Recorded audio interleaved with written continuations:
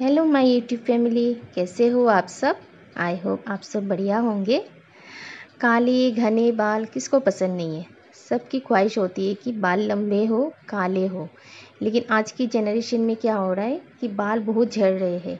हम कितने तरह के शैम्पू हेयर वेल यूज़ करते हैं, लेकिन काम नहीं आते। जब भी हम शैम्पू करने शैम्पू करते हैं बाथरूम में हमारा पूरा बाल बाल हो जाता है। बहुत दुख भी होता है कि बाल रीग्रोथ नहीं हो रहे, लेकिन जितने हैं वो भी गिर रहे। तो इसके लिए मैंने आज यहाँ पे आप लोगों के साथ एक हर्बल हेयर ऑयल शेयर कर रही हूँ। जिसे आप लगाओगे तो कुछ ही दिनों में देखोगे कि अगर आप वन मंथ कंटिन्यू इसे फॉलो करोगे तो देखोगे धीरे धीरे आपके बाल जहाँ से झड़ रहे हैं, वहाँ पे रीग्रोथ होना स्टार्ट हो गया है।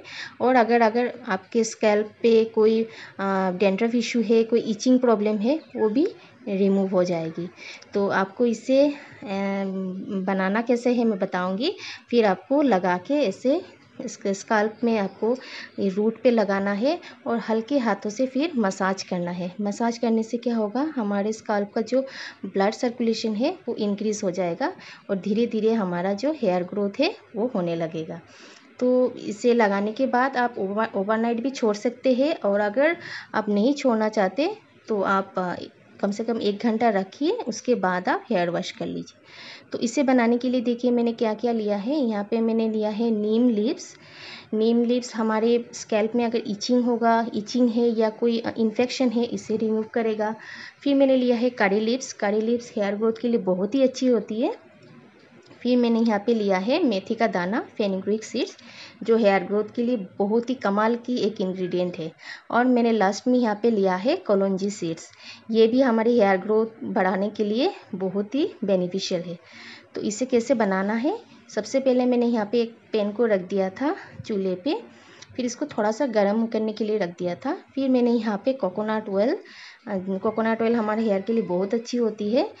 फिर इसे मैंने यहाँ पे ढाल दिया था। ढालने के बाद फिर मैंने यहाँ पे पहले मेथी का दाना और जो कॉलोंजी सीड्स है इसको पहले ढाला था, क्योंकि ये थोड़ा पकने में बॉईल होने में थोड़ा टाइम लेते हैं। तो पहले ये दोनों को हम लोग पकाएँगे। उसके बाद हम जो कड़ी लिप्स है और नीम लिप्स है उसे ऐड करेंगे। पहले लिप्स को ऐड नहीं करेंगे। तो देखिए यहाँ पे मेरा जो आ, मेथी का दाना है और कॉलोंजी है वो काफ़ी अच्छे से बॉयल हो चुकी है।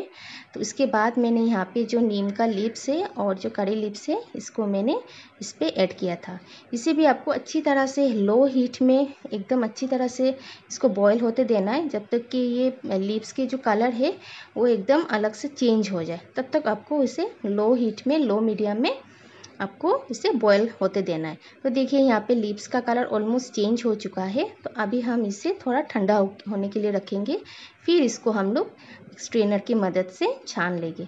तो यहाँ पे देखिए मेरा ऑयल जो है ठंडा हो चुका है। फिर मैंने एक स्ट्रेनर की मदद से ये ऑयल को मैंने एक बॉल में ट्रांसफ़र कर लिया था।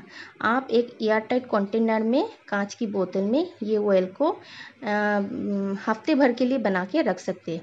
फिर आप नया बनाइए, फिर यूज़ कीजिए। आप एक साथ ज़्यादा मत बनाइए, नहीं तो ये ख़राब होने का भी चांसेस होता है।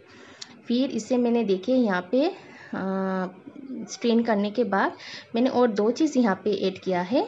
तो आपको लेना है यहाँ पे कैस्टर ऑयल अगर आपके पास है तो आप ले सकते हो अदरवाइज़ ये स्किप कर सकते हो। कैस्टर ऑयल भी हेयर ग्रोथ के लिए बहुत अच्छी होती है। और मैंने यहाँ पे लिया है भृंगराज ऑयल इसका मैंने टेन ड्रॉप जैसा लिया है। अगर है तो आप यूज़ कीजिए अदरवाइज़ आप इसे स्किप कीजिए। तो thank you guys thank you so much